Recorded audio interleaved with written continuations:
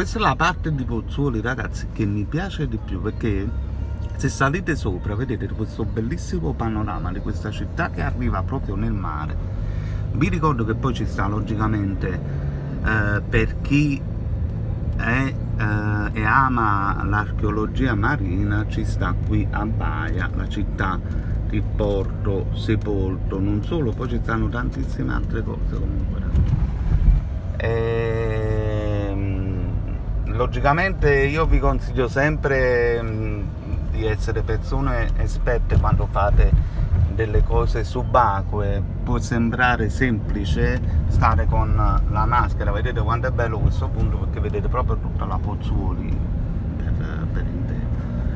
E quindi vi consiglierei sempre comunque di farlo con le guide anche se pagate qualcosina in più però comunque eh, queste cose vanno fatte con sicurezza perché se non siete esperti anche se questa città in fin dei conti si trova a due metri sotto il livello marino quindi non è chissà eh, che cosa. Però se dovesse andarla a visitare proprio in fondo quindi toccare le pietre le colonne quello che sia lo dovete fare obbligatoriamente con delle maschere eh, bombole d'ossigeno e se non siete delle persone esperte potete passare una cattiva vacanza.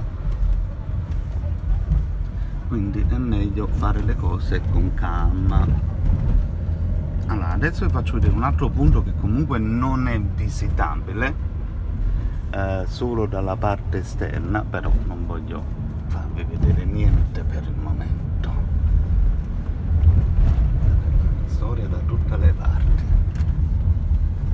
E poi come si mangia avete visto nei ristoranti da incubo i vari ristorantini che stiamo facendo qui nella zona?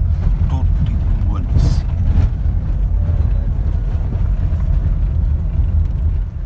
Voilà allora siamo arrivati in questo punto che è il centro di Pozzuolo dove a pochi metri di distanza praticamente lì c'è il porto di Pozzuoli per andare a prendere i traghetti che portano a Ischia. Ma non solo c'è il più grande e famoso mercato del pesce dove tutti i ristoratori e tutte le persone normali vengono a comprare il pesce fresco qui. Qui ci troviamo praticamente nel tempio di eh, Serapide, però il tempio non è visitabile. Come vedete eccezionalmente oggi lo troviamo con l'acqua. Questo qui una volta era sommerso, una volta vi intendo, intendo pochi anni fa, eh, era completamente sommerso dall'acqua. Quello che uscivano dal, dall'acqua, che è l'acqua del mare, solo le estremità delle colonne, le tre colonne, poi tutto il resto era sommerso dall'acqua. C'è stato, logicamente con i vari terremoti che, che, ci, che, che spesso vengono, qui nella zona di Pozzuoli perché comunque ci troviamo a livello di geologi, geologicamente parlando ci troviamo in un luogo dove ci sono i vari bradisismi e, e quindi automaticamente è un vulcano perché abbiamo anche qui la Solfatara che purtroppo non è visitabile proprio per l'incoscienza della gente. Allora come appunto vedete eccezionalmente noi adesso lo troviamo con l'acqua ma in realtà l'acqua non c'è qui. Eh, Mo è una cosa eccezionale che ci sta un po' un filino d'acqua. Hanno fatto in modo di, eh, di praticamente di non far arrivare l'acqua del mare qui per salvare questo, questo posto come vedete andate quando ci sta l'inondazione perché lo stesso comunque l'acqua del mare, del mare riesce ad arrivare come vedete queste colonne sono la testimonianza. Vedete quando i colori sono più scuri e più chiari vedete quello là rappresenterebbe il livello del mare che si fa in alcuni periodi, non è sempre così. Eccezionalmente lo abbiamo trovato in questi due o tre giorni con un livello dell'acqua un po' più alto, mm, però comunque non è mai così. Ma è un sito che non è visitabile, quindi ci può stare un'entrata di acqua all'improvviso, quindi non è stato reso visitabile il sito anche se poi hanno inserito come vedete delle panchine però potrebbe essere pericoloso quindi non, non, non si può visitare all'interno e quindi qua la caratteristica sono questi ristorantini che vedete lì. Allora, questi ristorantini come caratteristica che hanno è che non fanno un vero pranzo, sono per 50 euro su per giù, vi portano un miliardo di cose da assaggiare, pizzettine fritte, melanzane fritte. Voilà, allora riprendo perché non so da dove stavo, da dove stavo registrando perché lo spazio dell'iPhone è praticamente terminato allora qui ci sono tutti questi ristorantini che veramente sono simpatici perché non è che fanno un pranzo o una cena vera e propria sono tutti degli assaggi e non costano neanche tanto una cinquantina di euro eh, su per giù a tavolo e vi portano milioni proprio talmente di quella roba da mangiare che è veramente eh, spettacolare. Poi cucinano veramente bene. Questi qua sembrano dei locali turistici però in realtà non è assolutamente così. Ti cucina proprio bene.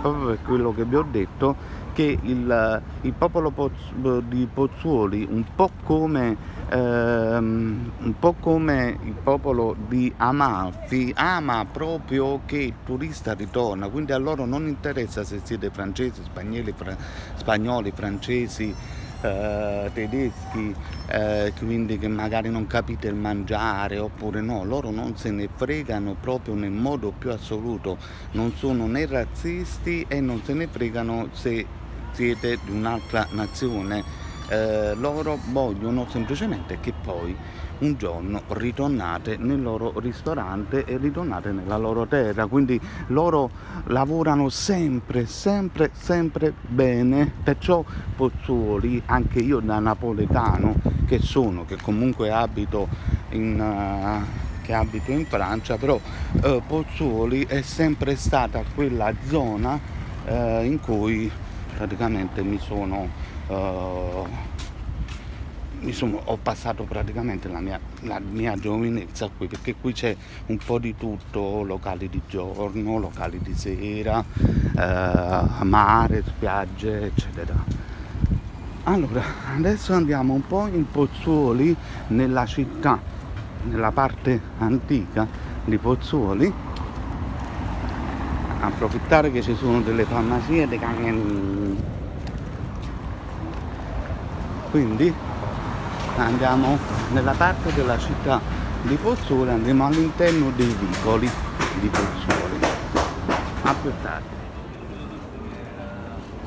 voilà, e ci troviamo quindi nella parte eh, della città di Pozzuoli è caratteristica prima di tutto perché ci sono tantissimi negozi chic o meno supermercati, negozi di abbigliamento, ma è caratteristico perché ci sono questi bellissimi vicoletti dove vedete poi questi ristorantini che si mangia, come vi ho detto, si mangia molto bene e si paga anche molto poco, però è tutta caratterizzata da questi vicoletti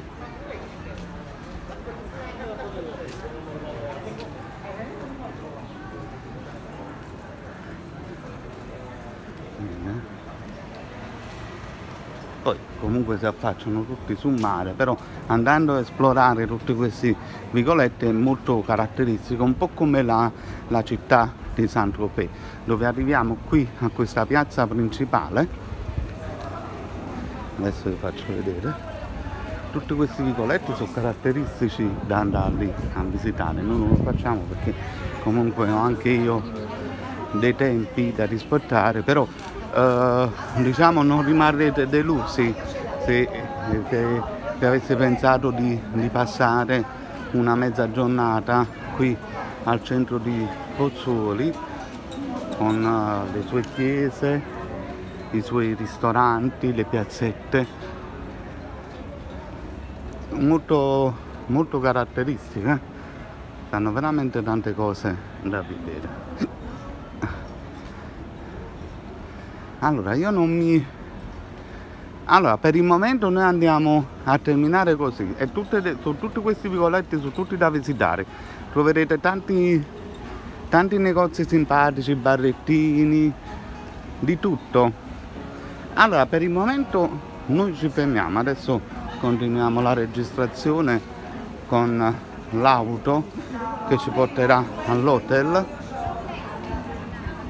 che è un hotel che io consiglio a tutti per la sua calma, per la sua posizione e principalmente per lo staff dell'hotel che vi coccolerà durante il vostro soggiorno. Allora, a più tardi dalla macchina. Allora, allora vai vai su YouTube movie. A YouTube già mettere. Sì. Ok.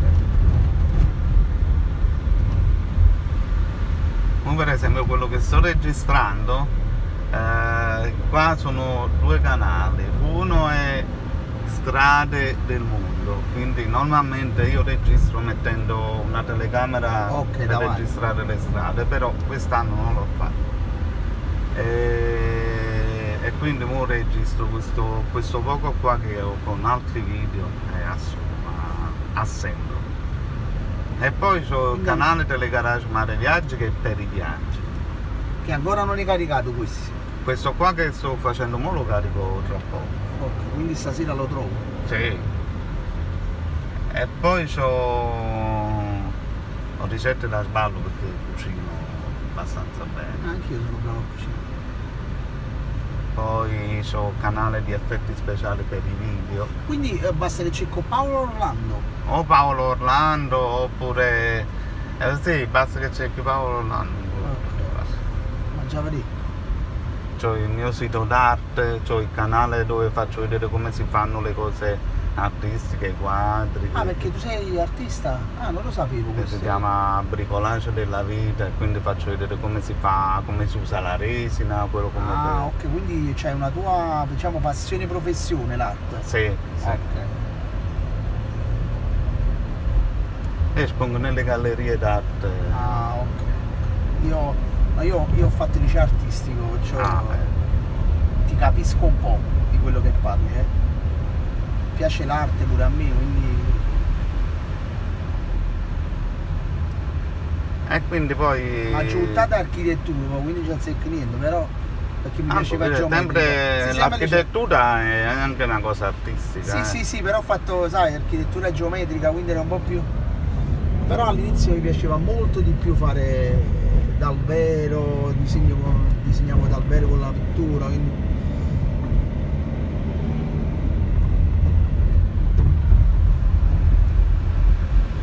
Come tutte le passioni devi pompare nelle passioni, se non pompi si sgonfiano. Vabbè, dipende. Mo per esempio a me eh, il, eh, comunque sono un autodidatta, ho fatto nessuna scuola per quanto riguarda. Perché una volta qua, oltre al lavoro, facevo dei presepi molto particolari. Infatti ancora oggi le persone che hanno i miei presepi ce l'hanno ancora là. Eppure Ah. sono passati 20, 25. Come, come li facevi? No, facevo delle cose Astratte. strane, per esempio un presepe che ho fatto che era qualcosa di impensabile, lo feci con la sabbia e eh, ho riprodotto Colosseo e tutta Roma, tutto di sabbia.